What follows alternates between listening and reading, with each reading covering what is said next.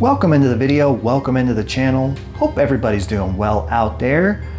And in today's video, I'm gonna be showing you four settings that are disabled in the public menus like the main menu that you can actually change somewhere else.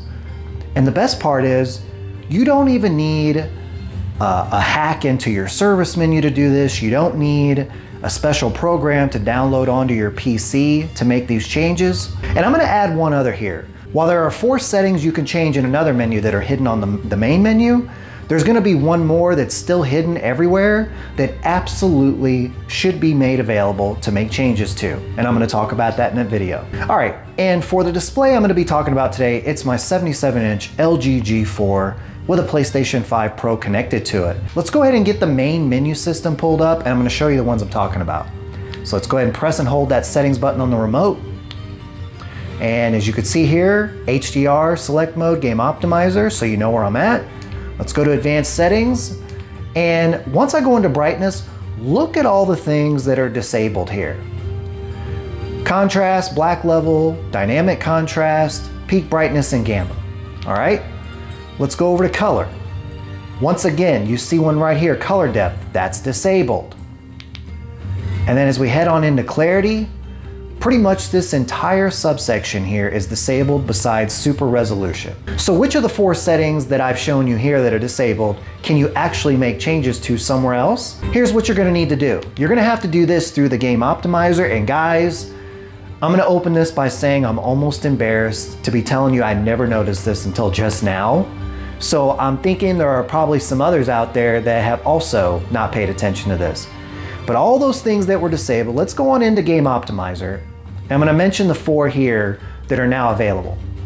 Go over here to the Picture tab, and the four that I'm gonna talk about are gonna be Game Contrast, Black Level, Adjust Sharpness, and Color Depth.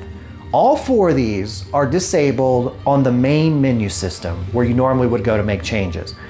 LG, I need to know why they are disabled on the main menu system, but all of a sudden they are enabled on the game optimizer. That makes no sense to me whatsoever. As you saw, contrast was locked in at 100, right? You can't make any changes. So in my opinion, this is where it would be set anyway. But let's say you don't want it at 100 and it's too bright for you in a dark room. In Game Optimizer, you could drop it all the way to zero or you know, you can kind of set it in the middle, whatever whatever works best for you, that's the way it should be in the main menu as well. Black level, same thing. You know, if you're not happy with the black level performance, you want to turn it up, you want to turn it down. You can see how it's impacting this main menu here on Forza. Look at that. As you go back and forth, this is how it should be in all the menus.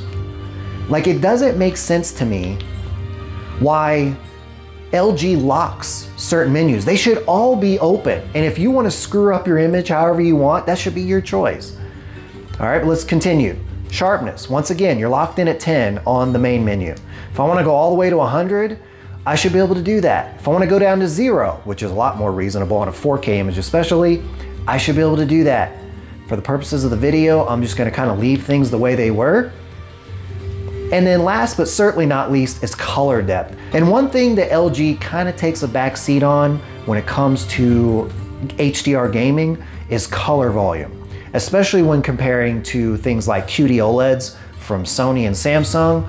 Well, guess what? While you're locked in on the main menu to 55 and you can't do anything about it, now in Game Optimizer, it's unlocked. If you want to go full Samsung mode and have QD OLED light colors, I know I'm going to catch some flack in the comments for that because, you know, I'm probably going to get a comment like, well, yeah, well, what happens when you have all the brightness turned up? You have the game co uh, color depth turned up.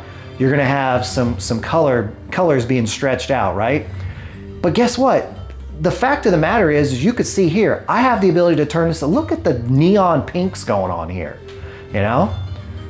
Does it not look all that great? Yeah, look at the green grass in the background. Would I do this? No. But the fact of the matter is this should be unlocked in all menus, all public menus, and it's not. This makes no sense to me. I'm actually gonna, just like I said, for the purpose of the video, take it back.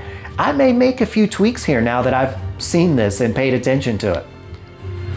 And what's the one that I mentioned that should absolutely be in both the public main menu and this game optimizer, smooth gradation.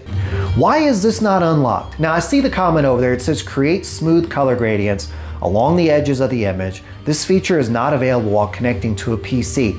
Fine. There's not a PC connected here. This is a PlayStation 5 Pro console. And the little icon in the edit inputs menu shows it as a console, so this should absolutely be unlocked no matter what. But LG, why do you have all these locked? Even if you feel like you're gonna screw up the image for what it's supposed to be for HDR gaming by unlocking these, we should have the ability to do that if we want. We paid our hard-earned money for your displays. These should absolutely be unlocked. It's ridiculous that you have this menu for clarity and for HDR gaming, you only unlock this one right here. And I showed you in a prior video, when I was doing my settings video on my C3, this was actually locked. The entire menu was locked, I believe. Totally ridiculous. But guys, I just wanted to show that. I'm probably gonna get some laugh emojis in the comments because I do so many videos with these LG displays and I just now today, at the time of filming this, noticed that. All of a sudden those settings that are locked and grayed out, you can't change, and you thought, well, it's all hope is lost for those. They're not. You can just do it within the game optimizer.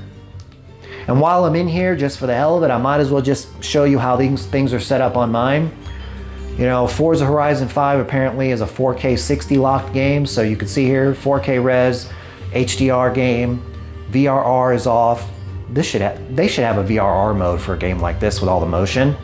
And then 60 frames per second. Uh, we'll just kind of go through here real quick. Input delay, I've toggled this back and forth. The reason why I left this on standard, truthfully, is because when I changed this to boost, all of a sudden I started getting some weird error, like pixel lines going on. So I had to actually turn it off. Uh, as you could, let's go down through here. Dashboard, of course, on. VRR, of course, is on. FreeSync is off because it's pointless because this is more of an Xbox thing and I sold my Xbox Series X months ago. In 144 Hertz mode, I'd love to be able to turn this on. Unfortunately, even though I have the top of the line PlayStation console, it can't do 144 Hertz.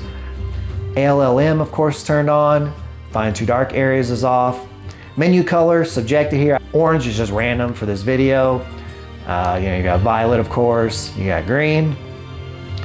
For the hell of it, I'm gonna change it back to the violet for the rest of the video. Um, and let's head on back into picture. And you can see here, I haven't really done anything with stabilizer, either one. Um, go on down. The tone mapping I'm using for my gaming on the G4 is dynamic tone mapping on. That's a conversation for another video that's coming down the road, so be sure to hit subscribe and turn on the bell. Wide aspect, just left it on 16 by 9. Can't do anything with this setting. And uh, this is how you access the main menus quickly from here. And uh, let's go to sound for the hell of it while I'm here. AI game sound is on, haven't touched that. The game EQ is off, it's locked. Atmos is locked, it's off, that's okay because I run all my audio through a, Sony receiver and a surround sound here in the game room. Sound out, as you can see here at the aforementioned, ARC device is plugged in, and that's it. So this kind of gives you a look. I'm gonna pull up the, the uh, dashboard here so you can see here how I have this set up. 4K, HDR on, VRR off, 60, this just gives you a quick rundown of the data that I wanted to be able to see on the fly. For those of you that have just bought LG OLEDs and you're gaming on them for the first time and this might be locked for you, check out one of my other videos. I may card it in. I'm gonna show you how to unlock this so you can quickly toggle through your picture modes here. But uh, one other quick note while I'm here, might as well, is uh, if, if you don't like the data that's shown in here out of the box, that's perfectly okay because you can click this little pencil and you can change these suckers out for some of these other things. So, gee, I think I kind of wrapped a lot of things in this one video. So if you enjoy this kind of content, be sure to hit a like button so this video gets circulated out. And of course, if you're not subscribed, be sure to hit subscribe and turn on the bell. But with all that being said, until the next one,